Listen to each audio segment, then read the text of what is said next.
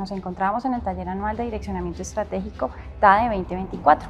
Es un evento que planeamos para quienes ejercen la autoridad marítima, es decir, nuestros capitanes de puerto, nuestros jefes de señalización y nuestros comandantes de buque, en el que les compartimos cuál es esa hoja de ruta, producto de nuestra planeación estratégica como Dirección General Marítima. Es una oportunidad en la que les damos a conocer todo ese contexto y finalmente cuáles son los objetivos a alcanzar, tanto en el corto, mediano como en el largo plazo.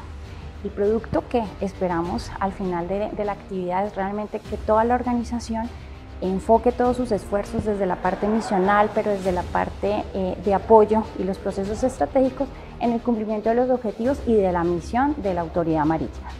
Como capitán de puerto de, de Leticia, para mí fue muy importante y muy gratificante el poder haber participado de esta etapa de 2024, donde se tocaron temas importantes y relevantes para nuestro desempeño en nuestra jurisdicción, temas marítimos, temas fluviales, temas normativos, y tema de organización para que nosotros podamos desempeñarnos de mejor forma.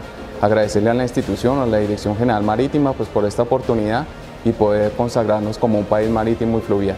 Lo más importante de este TADE 2024 fue conocer las diferentes capacidades y liderazgo que nosotros tenemos desde los diferentes centros de investigación, los diferentes buques oceanográficos que hay al servicio de la Dirección General Marítima y de las diferentes capitanías de puerto.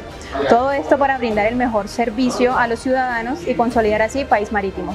El TADE 2024 nos pareció una excelente experiencia en la cual nos permite armonizar dentro de nuestras jurisdicciones eh, la política de seguridad marítima integral, portuaria y fluvial. Lo anterior con el fin de fortalecer todo este engranaje en pro del desarrollo de las comunidades ribereñas en nuestras vías fronterizas fluviales. Esto con el fin de poder aportar al desarrollo y a la seguridad de cada una de las embarcaciones y marinos que surcan y navegan sobre las vías fluviales transfronterizas del país.